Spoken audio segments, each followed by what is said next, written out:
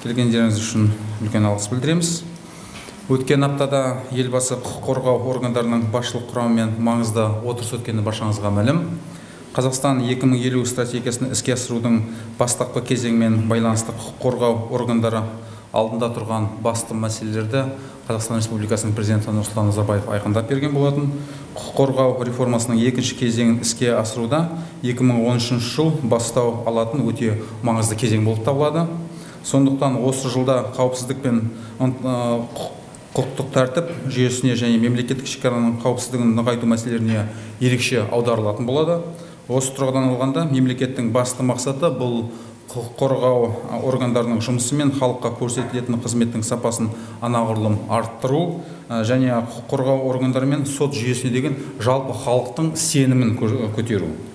Ел президенті қоғамдық қауіпсіздік пен құқықтық тәртіп мәселелеріне ерекше мән беріп халық пен барлық мемлекеттік органдарды біздің қоғамда тәртіпсіздікке нөлдік төзімділік қағидатын құру жөнінде шақырды. Нөлдік төзімділік қағидаты жалпы елеусіз құқық қорғау бұзушылықтар мен кез келген тәртіпсіздіктерді бұлтартпауға бел байлағанымыздың айқын белгісі болып табылады. Сондықтан президент жариялаған бұл қағидат қоғамдық қауіпсіздікті нығайту және қылмыстықпен күресудегі маңызды қадам болып табылады осы орайлы сәтті пайдалана отырып бүкіл журналистік қауымға және бұқаралық ақпарат құралдарының өкілдеріне кез келген тәртіпсіздіктермен күресуде құқық қорғау органдарының әрекеттерін барынша қолдап және сол арқылы қоғамда елеусіз құқық бұзушылық деген төзімсіздік таныту мәдениетін қалыптастыруға құруға баршаңызды шақырамын.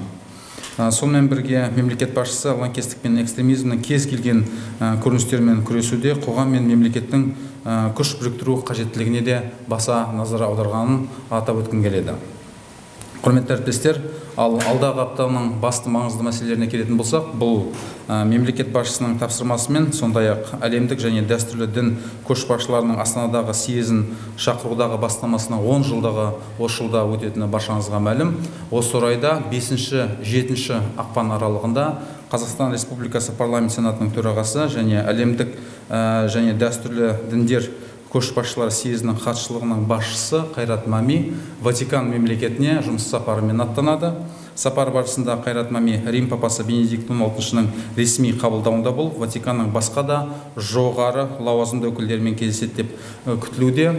Естеріңізге салып өтейін тараптар өткен жылы қазақстан мен ватикан арасындағы 20 жылдық ынтымақтастықтың негізгі жетістіктері мен болашақтары қарым қатынас мәселелерінде осы сапардың төңірегінде талқылайды.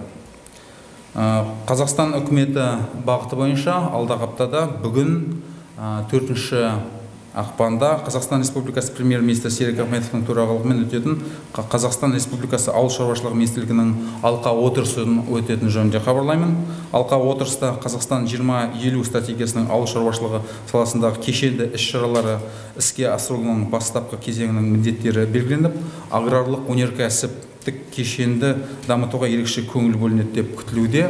Жалпы еліміздің 42 пайызы ауылдық жерде тұратындығын ескеретін болсақ ауыл шаруашылық мәселесінің дамытудың қаншалықты мемлекетімізге маңызды екенін өздеріңіз түсінесіздер. 31 қаңтарда ауыл шаруашылық министрі асылжан мамытбековті қабылдай отырып қазақстан республикасының президенті нұрсұлтан назарбаев азық түлік қауіпсіздігін қамтамасыз ету үшін еліміздің ауыл шаруашылық саласында мемлекет жан жақты қолдау көрсететінін басып айтқан болатын. Аграрлық өнеркәсіптік кешеннің басты мақсаты бұл ішкі нарықта елімізде шығарылатын өніммен және отандық азық түлікпен 80 пайыз деңгейде қамтамасыз ету сонымен қатар ауыл шаруашылық саласында шығарылатын өнімдермен және ет қазақстандағы ет өнімін 60 мың тоннаға дейін жылына сыртқа, сыртқы нарыққа экспорттау жөнінде мәселе күнделікті өзекті. Осы мақсаттарға жететін болсақ жалпы ауылда жерде тұратын халықтың ахуалын одан әрі жақсарта отырып жаңа жұмыс көздерімен қамтамасыз етуге мүмкіншілік ашылады. Бесінші ақпанда қазақстан республикасының премьер министрі серік ахметов жаңартылған энергия көздерін дамыту мәселелері жөнінде үкімет отырысын өткізеді. Аталмыш мәселе қазақстанның индустриалды инновациялық дамуы экспо 2017 халықаралық мамандырылған көрмені астанада ұйымдастыру мәселесі және жасыл экономика аясындағы бағдарламаны іске асыру тұрғысында өте маңызды мәселе. Сол бұл сонымен қатар қазақстан 2050 стратегиясын іске асырудың нақты қадамдарының айғағы болып табылады. Сонымен қатар алдағы аптада 7 ақпанда қазақстан республикасының премьер министрі серік ахметовтың қатысуымен самұрық қазына ұлттық әл ауқат қорының акционерлік қоғамының кеңейтілген алқа отырысы өткізіледі. Осы отырыстың барысында 2012 жылдың қорытындылары қорытындыланып сонымен қатар 2013 жылға деген қордың негізгі міндеттері айқындалады деп күтілуде. Қор компанияларында жасыл экономика және энерготиімділік дамуының міндеттері де талқыланады деп күтілуде. Отырыстан кейін самұрық қазына ұлттық әл ауқат қоры акционерлік қоғамының басқарма төрағасы өмірзақ шөкеевтің бұқаралық ақпарат құралдарына арнаған брифингі де жоспарланып отыр. Құрметті әріптестер сегізінші ақпанда қазақстан республикасы премьер министрі серік ахметов қазақстан республикасының экономика және бюджеттік жоспарлау министрлігі және қаржы министрліктерінің кеңейтілген алқа отырыстарына қатысады. Сонымен қатар алдағы аптада серік ахметов еліміздің әлеуметтік экономикалық мәселелері бойынша бірқатар жұмыс кездесулері мен отырыстарын өткізеді деп күтілуде.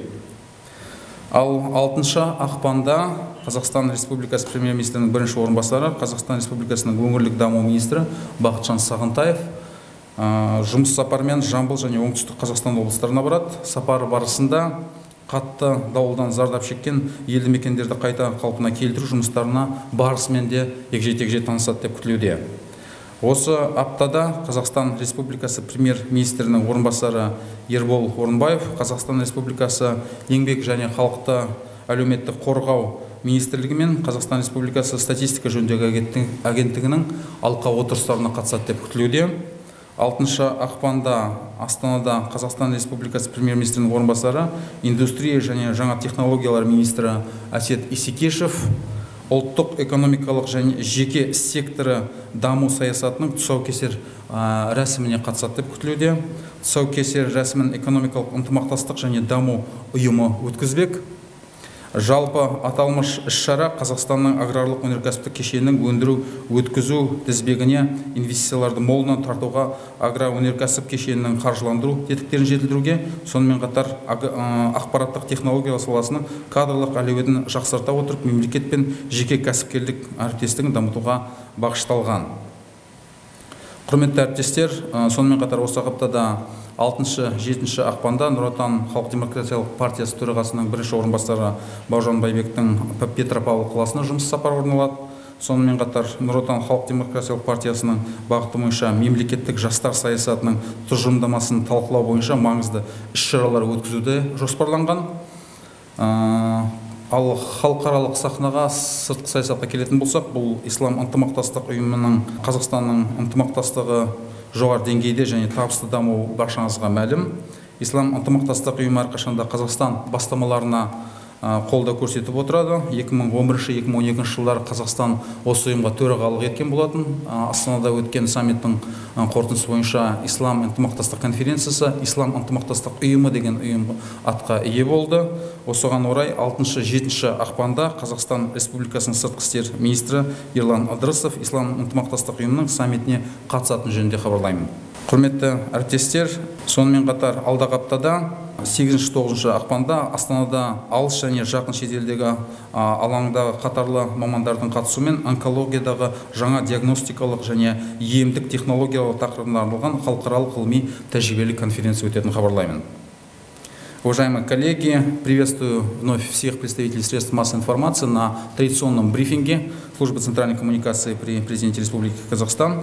Хотел бы а, отметить, что на прошедшей неделе глава государства провел совещание с руководящим составом правоохранительных органов нашей страны. Президент Казахстана поставил задачи перед силовыми структурами, связанными с, началом, с начальным этапом реализации стратегии Казахстана 2050 2013 год должен стать отправной точкой в реализации второго этапа правоохранительной реформы, укрепления системы правопорядка и безопасности, а также безопасности на государственной границе. При этом главная цель государства – это повышение качества работы системы правоохранительных органов, повышение качества предоставляемых а, населению услуг, повышение уровня доверия к силовикам и судебной системе.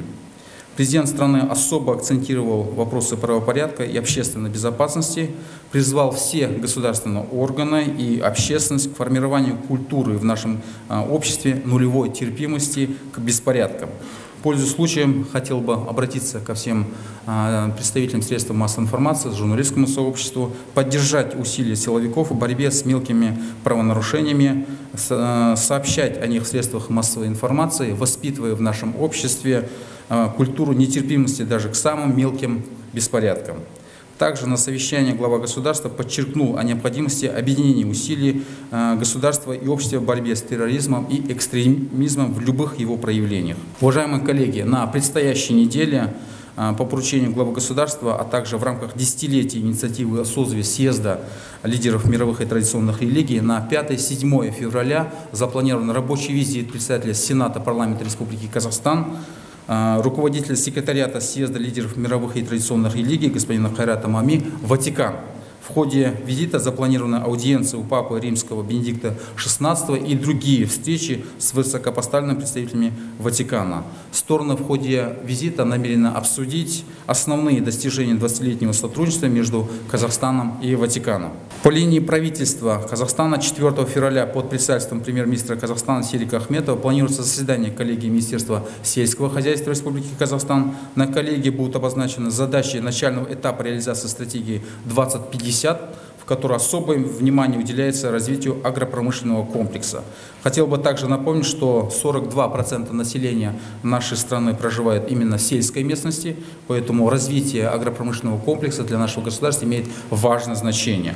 Принимая а, министра сельского хозяйства Республики Казахстан господина Аслажана Мамутбекова 31 января глава государства отметил, что государство оказывает всестороннюю поддержку сельскому хозяйству для того, чтобы обеспечить продовольственную безопасность нашей страны собственными продовольственными и отечественными продуктами, а также активизировать экспорт на внешние рынки готовой сельскохозяйственной продукции, а, прежде всего до 60 тысяч тонн а, казахстанского мяса.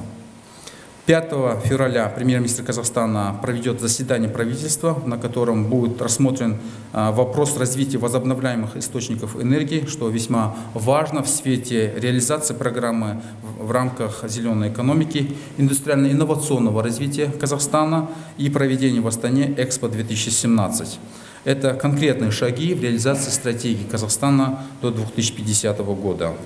7 февраля с участием премьер-министра Казахстана Серика Ахметова состоится расширенное совещание акционерного общества «Фонд а, национального благосостояния Самрук Казана». На совещании будут подведены итоги 2012 года, а также обозначены важные задачи и приоритетное направление на 2013 год.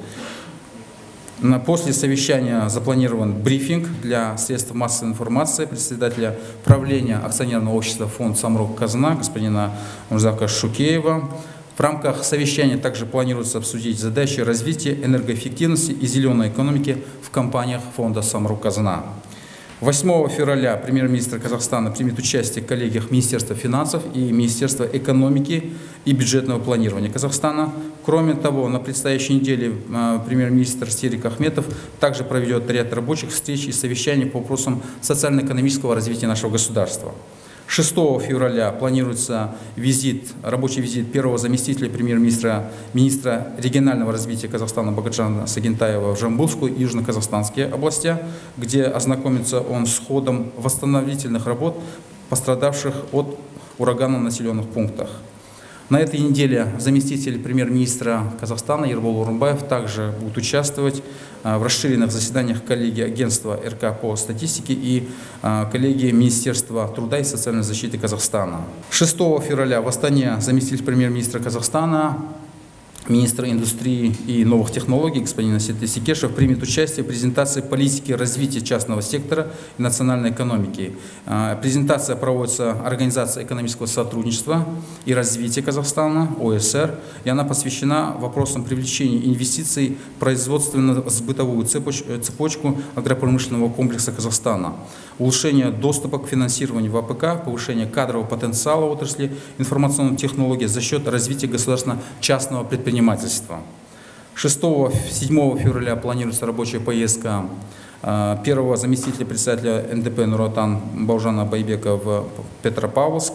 Кроме того, по линии НТП «Нуротан» запланировано важное мероприятие по обсуждению концепции государственной молодежной политики. А, уважаемые коллеги, также хотел бы отметить, что Казахстан продолжает уделять а, особое пристальное внимание развитию сотрудничества в рамках Организации исламского сотрудничества.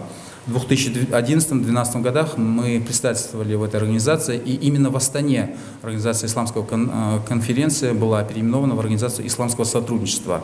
Хотел бы также сообщить, что на предстоящей неделе, 6-7 февраля, министр иностранных дел Казахстана Ерлан Идрисов примет участие в очередном саммите Организации исламского сотрудничества.